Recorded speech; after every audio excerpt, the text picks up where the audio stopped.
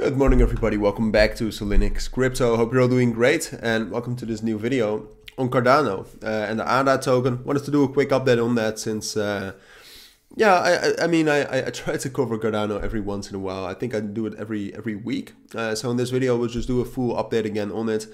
Technicals are quite interesting right now because we actually had a, a good bullish breakout here above this minor level uh, right here, which will, well, it's nicely highlighted right now, around uh, 37 and a half cents. But now we're struggling with that 0.5 fib of the move down. Um, so we'll talk about whether we can break above that. I do think so, but we'll cover how. Uh, and apart from that, also the fundamentals on Cardano. Uh, because Cardano right now, uh, a lot of people don't know this, but it's actually doing very well in terms of some network statistics that I do think it's very valuable for you to know uh, because it might actually change your opinion on Cardano and, and, whether you want to buy it or not. So that is what we'll talk about in this video. Uh, now, before we get into that though, if you want to receive daily trading signals, including also on Cardano, then check out the links down in the description or in the pinned comment, and there you will find instructions on how to join. But now onto Cardano. So to start off with those network statistics, what you can actually see right now at Cardano is that the total that, that, that we reached a new high with the total value locked, which is pretty impressive. If you compare this with other cryptos or other blockchains like Solana, like like Ethereum, like all of the big ones, none of them are trending up like this. Like Cardano started an uptrend beginning of this year and hasn't stopped since. This is the last 12 months. Last year, can, we're actually the highest that we've been in the last year, which is crazy. Last three years, we're pretty high. I mean, we're at, at around the levels we were at in, uh, in, in, when the bear market started, which is pretty good.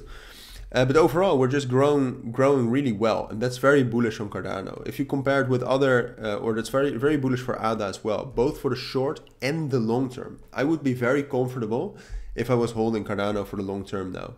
I'm not, but uh, but but but still, I might. You know, it's um, it's getting more interesting and interesting. I actually wanted to check out compared to other blockchains how much total value locked it has, but it doesn't seem like DeFi Llama is loading. So we'll just get into the in, into the technicals then. So now the big thing is is that we actually do have quite a lot of bullish momentum in the markets. Dollar strength index is falling a little bit. So overall, what I think is that right now, especially with that bullish breakout we had, like you can also drag a, a Fibonacci from from this bottom right here. And what you'll see is that we have a lot of support here in this level. I might even set a price target for if it gets back there that I'll buy from there. But we're in this level right now between 38.15 and 37 and a half cents. That's kind of the area we're in.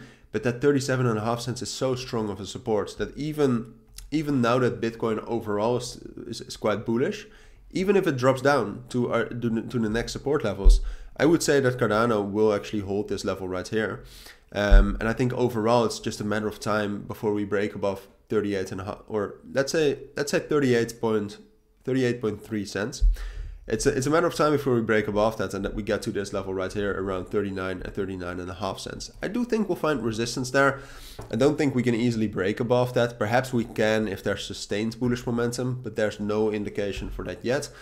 Uh, but that's what I expect on the short term. So whether we whether we get that drop down to 37 and a half cents again or not depends a little bit on the market and that depends a little bit on the dollar strength index it's hard to predict that but overall this is what i expect so that's my take on cardano and ada for now. If you do have any questions as always let me know. But for now thank you for watching. Take care and bye